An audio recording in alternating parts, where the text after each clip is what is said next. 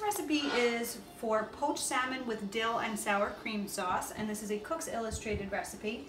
And I have one large salmon fillet, um, one and a half to two pounds. I have uh, one lemon sliced, it's supposed to be shallots, but I substituted a quarter cup of diced red onion. And I also have about um, seven sprigs of dill on top. And instead of putting the lemon on the bottom, I like to put it on top and really infuse the flavor in it. And I'm going to put the top on, bring it to a bare simmer, and then lower it so I can poach it. Poach is right below the boil. I'm gonna cook it until the temperature is between 135 and 40. Their recipe calls for 125, but the safe zone for fish is really 140. And this should take between 10 and 15 minutes. Okay, my salmon has reached temperature. The skin is gonna stick right to the bottom, which is great. I'm gonna strain this liquid.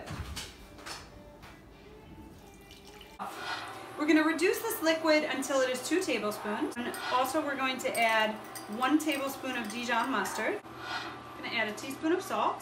And after the Dijon mustard, also two tablespoons of diced shallot. I'm using red onion. Okay, once that has reduced, now I am going to add one teaspoon of lemon juice, two tablespoons of sour cream. Now, with the heat off, I'm gonna add two tablespoons of butter and two tablespoons of cleaned and chopped dill, fresh dill. And cover with your sauce. And that is poached salmon with sour cream and dill sauce.